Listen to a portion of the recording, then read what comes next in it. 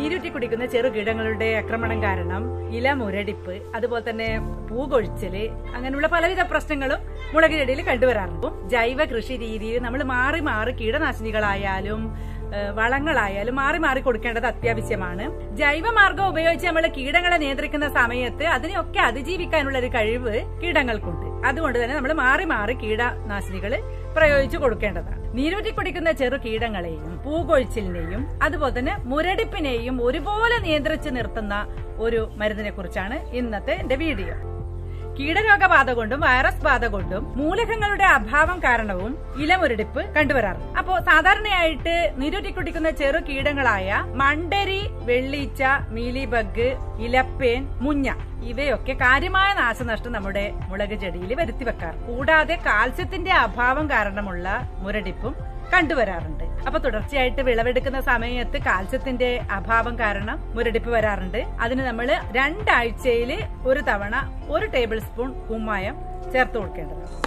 അപ്പോൾ ഞാനിവിടെ രണ്ടാഴ്ച മുന്നേ തന്നെ മണ്ണ് കുമ്മായം ട്രീറ്റ് ചെയ്ത് വെച്ചതാണ്. അതിൽ അടിവളമായിട്ട് രണ്ട് ദിവസം മുന്നേ ചേർത്ത് കൊടുത്തത് എന്താണെന്ന് വെച്ചാൽ എല്ലുപൊടി ചാണകപ്പൊടി അതുപോലെ തന്നെ വേപ്പിൻ പിണ്ണാക്ക്. കൂടാതെ ചകിരിച്ചോറും മിക്സ് ചെയ്ത് കൊടുത്തായിരുന്നു. അപ്പോൾ ഇതുപോലെ നല്ല ഇളക്കമുള്ള മണ്ണിൽ വേണം നമ്മൾ മുളക് ചെടി പറിച്ചു മാറ്റി നടുവാനായിട്ട്. അടുത്തതായിട്ട് ഈ പോട്ടി മിക്സിൽ ചേർത്ത് കൊടുക്കുന്നത് ട്രൈക്കോഡർമയാണ് വേരു ചീയൽ എന്നൊരു പ്രശ്നം മുളക് ചെടിയിൽ കണ്ടുവരാറുണ്ട്. അതിനുള്ളൊരു പ്രതിവിധിയാണ് ട്രൈക്കോഡർമ ഇരുപത് ഗ്രാം നമുക്ക് ഈ ഈ മണ്ണിൽ നല്ല രീതിയിൽ മിക്സ് ചെയ്ത് കൊടുക്കുക. അപ്പോൾ വേര് ചീയൽ വാട്ടരോഗം എന്നീ പ്രശ്നങ്ങളിൽ നിന്നൊക്കെ ഒരു പ്രതിവിധിയാണിത്. ഇതിലേക്ക് നമുക്ക് മുളക് ചെടി നട്ടുപിടിപ്പിക്കാം. വെള്ളം ഒഴിച്ചു കൊടുക്കുക. അപ്പോൾ മറ്റൊരു കാര്യം ശ്രദ്ധിക്കേണ്ടത് എന്താണെന്ന് വെച്ചാൽ മുളക് ചെടി നല്ല രീതിയിൽ പൂത്ത് കായ്ച്ച് കിടക്കുന്ന സമയത്ത് പെട്ടെന്ന് ഒരു ദിവസം വാടിക്കാണും. അതാണ് വാട്ടരോഗം. അതാണ് ബാക്ടീരിയൽ വാട്ടം എന്ന് പറയുന്ന രോഗം. അപ്പോൾ അങ്ങനെ കാണുന്ന സമയത്ത് നമുക്ക് വളരെയധികം വിഷമമായിരിക്കും പൂത്ത് കായ്ച്ച് കിടക്കുന്ന സമയത്ത് ഈ രീതിയിലൊക്കെ ചെടികൾ നശിച്ച് പോകുന്ന സമയത്ത്. അപ്പോൾ അതിനുള്ളൊരു പ്രതിവിധിയാണ്. അതായത് ഒരു പത്ത് ദിവസത്തിൽ ഒരിക്കലെങ്കിലും ഇരുപത് ഗ്രാം സ്യൂഡോമോണസ് എടുത്ത് ഒരു- ലിറ്റർ വെള്ളത്തിൽ കലർത്തിയതിന് ശേഷം നമുക്ക് ചെടികളുടെ ചുവട്ടിൽ ഒഴിച്ചു കൊടുക്കാവുന്നതാണ്. കൂടാതെ ഇലകളിലും തണ്ടിലും സ്പ്രേ ചെയ്ത് കൊടുക്കാവുന്നതുമാണ്. അപ്പൊ വളരെയധികം ചെലവ് കുറഞ്ഞ രീതിയിൽ കീടനാശിനിയായിട്ടും ഒരു ടോണിക്കായിട്ടും ഉപയോഗിച്ച് വരാവുന്ന ഒരു മരുന്നിനെ കുറിച്ചാണ് ഇന്ന് പറയുന്നത്. നമുക്കത് എങ്ങനെയാണ് തയ്യാറാക്കുന്നതെന്ന് നോക്കാം. അപ്പൊ ഞാൻ ഒരു പാത്രം എടുത്തിട്ടുണ്ട്. അതിലേക്ക് ഞാൻ ഡിഷ് വാഷ് ഒരു നൂറ് എം എൽ ഒഴിക്കുവാണ്. നമുക്ക് ഡിഷ് വാഷ് എടുക്കാം അതുപോലെ തന്നെ ഷാമ്പു എടുക്കാം. മഞ്ഞ ബാർ സോപ്പ് ഉണ്ടല്ലോ അധികം വീര്യം ഇല്ലാത്ത ബാർ സോപ്പ് നമുക്ക് എടുക്കാവുന്നതാണ്. ഒഴിച്ചിട്ടുണ്ട്.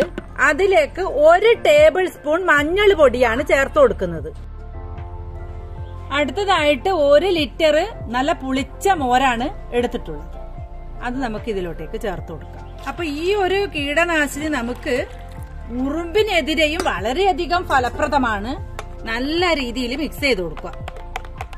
നമുക്കറിയാം മോര് തൈര് ഒക്കെ പൂകൊഴിച്ചലിനെതിരെ ഫലപ്രദമായ ഒരു മരുന്നാണ് എന്നുള്ളത്. മഞ്ഞൾ പൊടി നമുക്ക് ഉറുമ്പിനെതിരെയും വളരെയധികം ഫലപ്രദമാണ്. സോപ്പ് വെള്ളം നമ്മൾ ഒരു അഞ്ച് എം എൽ എടുത്തിട്ട് ഒരു ലിറ്റർ വെള്ളത്തിൽ ജസ്റ്റ് മിക്സ് ചെയ്തിട്ട് സ്പ്രേ ചെയ്ത് കൊടുത്താലും ചെറിയ രീതിയിലുള്ള കീടങ്ങൾക്കൊക്കെ വളരെയധികം ഫലപ്രദമാണ്. അപ്പൊ ഇത് നല്ല രീതിയിലൊന്ന് മിക്സ് ചെയ്ത് കൊടുക്കണം. ഒരു കണ്ടെയ്നർ എടുത്തിട്ടുണ്ട്. അതിലേക്ക് ഈ മിശ്രിതം ഒഴിച്ചു വെക്കുക. ഈ മിശ്രിതം തയ്യാറാക്കി വെക്കുന്ന അവസരം മുതൽ തന്നെ നമുക്കിത് ഉപയോഗിച്ച് തുടങ്ങാവുന്നതാണ്. മാത്രമല്ല നമ്മൾ ഇത് തയ്യാറാക്കി വെച്ചതിന് ശേഷം നമുക്ക് നല്ല രീതിയിൽ അടച്ചു വെക്കുകയാണെങ്കിൽ ദിവസം കഴിയും തോറും ഇതിന്റെ വീര്യം കൂടുകയും നല്ല രീതിയിൽ നമുക്ക് കീടങ്ങൾക്കെതിരെയും പൂ കൊഴിച്ചലിനെതിരെയും ഒക്കെ നമുക്ക് പ്രയോഗിച്ചു കൊടുക്കാവുന്നതാണ്. അപ്പൊ ഞാനിപ്പോ ഒരു ദിവസം വെച്ചതിന് ശേഷം ഇത് മുളക് ചെടികൾക്കും മറ്റുള്ള പച്ചക്കറികൾക്കും ഒക്കെ നമുക്കിത് പ്രയോഗിച്ചു കൊടുക്കാവുന്നതാണ്. അപ്പൊ ഇതിപ്പോ അടച്ചു വെക്കാം. ഇത് കണ്ടില്ലേ? പറിച്ചു മാറ്റി നട്ട് ദിവസങ്ങൾ കൊണ്ട് തന്നെ ഇതിൽ കീടങ്ങളുടെ ആക്രമണവും ഉരുടിപ്പും ഒക്കെ കണ്ടുവന്നായിരുന്നു അപ്പൊ ഞാൻ ഇതിന്റെ തലപ്പ് കട്ട് ചെയ്ത് കൊടുക്കുക ചെയ്തത്. അപ്പോൾ ഇതിൽ നല്ല രീതിയിൽ ബ്രാഞ്ചസ് ഒക്കെ വന്നിട്ടുണ്ട്. കണ്ടില്ലേ? ഇതിന്റെ അടിയിൽ നോക്കിയേ. ഇതിൽ വെള്ളീച്ച ശല്യം മീലി ബഗ് ഇതിന്റെ ഒക്കെ ശല്യമാണ് ഇതിൽ കാണുന്നത്. അപ്പൊ ഇതിന്റെ കൂടെ തന്നെ ഉറുമ്പ് ശല്യവും നമുക്ക് കണ്ടുവരാവുന്നതാണ് കൂടാതെ ഇതുപോലുള്ള നീരുറ്റി കുടിക്കുന്ന ചെറു കീടങ്ങൾ വൈറസ് രോഗങ്ങളെയും പടർത്തുന്നുണ്ട്. മാത്രമല്ല ഇതിൽ നിന്ന് വരുന്ന ഹണിഡ്യൂ സെക്രീഷൻ ഫംഗസ് രോഗങ്ങളെയും വിളിച്ചു വരുത്തുന്നുണ്ട്. അപ്പോ അങ്ങനെ ഇരിക്കുന്ന അവസരത്തിൽ ഇലകളൊക്കെ കറുത്ത് പ്രകാശ സംശ്ലേഷണം നടക്കാത്ത ഒരു അവസ്ഥയും കണ്ടുവരാറുണ്ട്. അപ്പോ മണ്ടരി ഇലപ്പേൻ പോലുള്ള ചെറുജീവികൾ നമുക്ക് നഗ്നനേത്രങ്ങൾ കൊണ്ട് കാണുവാനൊന്നും സാധിക്കില്ല. ഇലകളുടെ പ്രത്യേക രീതിയിലുള്ള ഷേപ്പ് കാണുന്ന സമയത്താണ് നമുക്ക് അത് മനസ്സിലാക്കുവാനായിട്ട് സാധിക്കുക. ഇലകൾ ഇതുപോലെ മേലോട്ട് ചുരുണ്ട് കിടക്കുന്നതൊക്കെ ഇലപ്പേനിന്റെ ഉപദ്രവം കാരണമാണ്. താഴോട്ട് എലിവാൽ പോലെ കിടക്കുന്നതൊക്കെ മണ്ടരി ആണ്.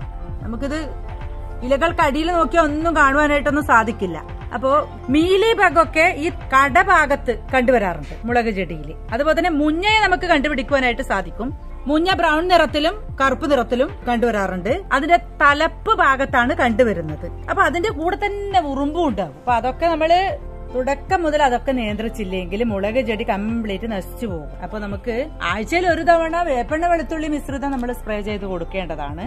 ജൈവ രീതിയിലാകുമ്പോൾ നമ്മൾ മാറി മാറി പലതും ചെയ്തു കൊടുക്കേണ്ടതാണ്. അപ്പൊ ഇതിലിപ്പം പൂപിടുത്തം തുടങ്ങിയിട്ടുണ്ട്. അപ്പൊ പൂക്കളൊന്നും കൊഴിയാതിരിക്കാൻ നമുക്ക് ഈ ഒരു മരുന്ന് സ്പ്രേ ചെയ്ത് കൊടുക്കാം. പൂകൊഴിച്ചലിന് പ്രധാനമായിട്ട് കാരണമാവുന്നത് ഉറുമ്പ് ശല്യം അതുപോലെ തന്നെ മൂലകങ്ങളുടെ അഭാവം. അതിനൊക്കെ ഒരു പരിഹാരമാണ് ഇന്നത്തെ ഈ മരുന്ന്.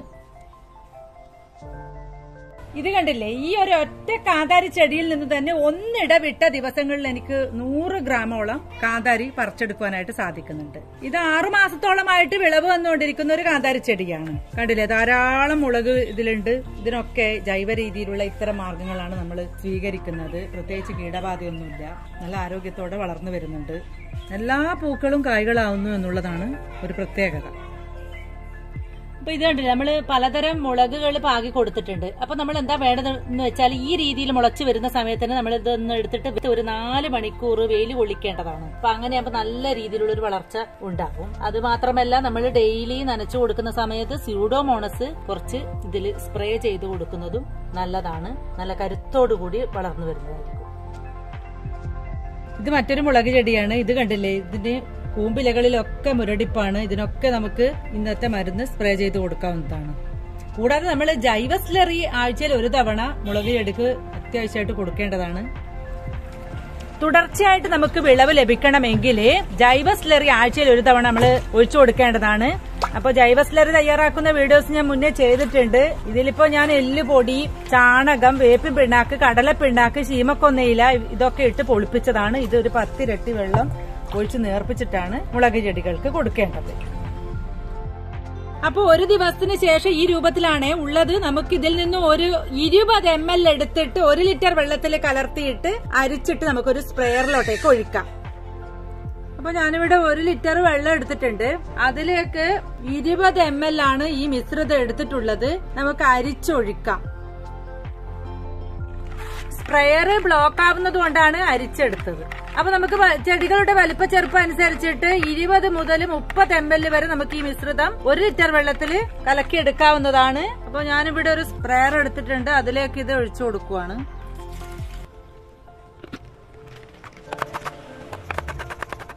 പൂവിട്ട് തുടങ്ങിയ മുളക് എടുക്ക് സ്പ്രേ ചെയ്ത് കൊടുക്കുന്നുണ്ട്. ഇലകൾക്കടിയിലും മേൽഭാഗത്തും ഒക്കെ നമുക്കിത് സ്പ്രേ ചെയ്ത് കൊടുക്കാവുന്നതാണ്. ഉരുടിപ്പിനൊക്കെ നല്ലൊരു മാറ്റം ഉണ്ടാവും. കൂടാതെ പൂകൊഴിച്ചിലൊന്നും ഉണ്ടാവില്ല. എല്ലാതും നമുക്ക് കായ്ഫലമായിട്ട് കിട്ടുന്നതായിരിക്കും. കറിവേപ്പിലയുടെ തളിരിലകളിൽ മുഞ്ഞ മണ്ടരി എന്നിവയുടെ ഒക്കെ ആക്രമണം കണ്ടുവരാറുണ്ട്. അതിനൊക്കെ നമുക്കിത് സ്പ്രേ ചെയ്ത് കൊടുക്കാവുന്നതാണ്. വളരെയധികം ഫലപ്രദമാണ്. വഴുതിനയിലും മീലി ബഗിന്റെ ഉപദ്രവം ഉണ്ടെന്ന് തോന്നുന്നു. ഉറുമ്പുകളുടെ ശല്യം കൂടുതലായിട്ട് കണ്ടുവരുന്നുണ്ട്. അപ്പൊ നമുക്കിത് സ്പ്രേ ചെയ്ത് കൊടുക്കുകയാണെങ്കിൽ നമുക്ക് ഉറുമ്പ് ശല്യത്തിനെയും നിയന്ത്രിക്കാവുന്നതാണ്. അപ്പൊ ഇലകൾക്കടിയിലൊക്കെ നമുക്ക് സ്പ്രേ ചെയ്ത് കൊടുക്കാം. അപ്പൊ ചുരുക്കി പറഞ്ഞാൽ മുളക് തക്കാളി വഴുതിന ഇതിലൊക്കെ നമുക്ക് സ്പ്രേ ചെയ്ത് കൊടുക്കാവുന്നതാണ്. ഇലകൾക്കടിയിൽ വേണം സ്പ്രേ ചെയ്ത് കൊടുക്കുവാനായിട്ട്. തണ്ടിലും സ്പ്രേ ചെയ്ത് കൊടുക്കണം. കുറ്റിക്കുരമുളകിലൊക്കെ നമുക്ക് ഇലപ്പേനിന്റെ ഒരു ഉപദ്രവം ചില സമയത്ത് കണ്ടുവരാറുണ്ട്. അതിനൊക്കെ നമുക്ക് ഇത് സ്പ്രേ ചെയ്ത് കൊടുക്കാറുണ്ട്. ഈ ചെറിയ കറിവേപ്പില തൈൽ കണ്ടില്ലേ? ഒരുപാട് മുഞ്ഞയുടെ ഉപദ്രവമുണ്ട്. ഒരു ബ്രൗൺ നിറത്തിലുള്ള മുഞ്ഞയാണ് ഇതിലുള്ളത്. അപ്പോൾ തളിരിലകളിലാണ് ഇത് കണ്ടുവരുന്നത്. നമുക്ക് ഇതിനൊക്കെ സ്പ്രേ ചെയ്ത് കൊടുക്കാം. ഉറുമ്പും ഉണ്ട് ഈ രീതിയിലൊക്കെ നമ്മൾ പരിപാലിക്കുകയാണെങ്കിൽ നമുക്ക് ജൈവ കൃഷി രീതിയിൽ വലിയ പ്രശ്നങ്ങളൊന്നും ഇല്ലാതെ മുന്നോട്ട് പോകുവാനായിട്ട് സാധിക്കും. കോവയ്ക്ക പന്തലിൽ ധാരാളം ഉറുമ്പ് ശല്യമുണ്ട്. അതിനൊക്കെ നമുക്ക് സ്പ്രേ ചെയ്ത് കൊടുക്കാം. മുളക് ചെടി യാതൊരു കീടബാധയും ഇല്ലാതെ ആരോഗ്യത്തോടു കൂടി വളർന്നു വരുവാനായിട്ട് ഈ രീതിയിലുള്ള മാർഗങ്ങളൊക്കെ എല്ലാവരും സ്വീകരിക്കേണ്ടതാണ്. ഈ വീഡിയോ നിങ്ങൾക്ക് ഇഷ്ടപ്പെട്ടുവെങ്കിൽ ലൈക്ക് ചെയ്യാനും ഷെയർ ചെയ്യാനും സബ്സ്ക്രൈബ് ചെയ്യാനും മറക്കരുത്. സബ്സ്ക്രൈബിന്റെ അടുത്ത് കാണുന്ന ബെല്ലൈക്കണും അതിന്റെ കൂടെയുള്ള ഓൾ എന്ന ഓപ്ഷനും കൂടി പ്രസ് ചെയ്ത് കഴിഞ്ഞാൽ ഞാൻ അപ്ലോഡ് ചെയ്യുന്ന വീഡിയോസിന്റെ നോട്ടിഫിക്കേഷൻസ് നിങ്ങൾക്ക് അതാത് സമയത്ത് ലഭിക്കുന്നതായിരിക്കും. Thanks for watching